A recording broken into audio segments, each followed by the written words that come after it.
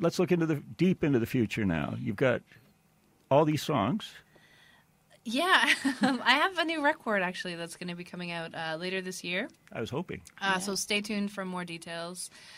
Um, and I'm yeah, I'm very excited about it.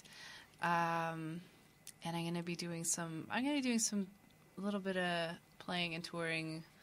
Um, until then, I'm playing. Uh, uh, yeah, I'm pl- doing a little tour in May, just uh, just to Michigan and back.